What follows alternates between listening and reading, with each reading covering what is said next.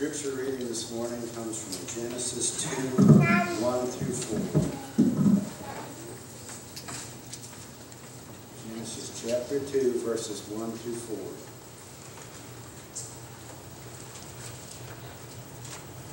4. Thus the heavens and the earth were finished, and all the host of them.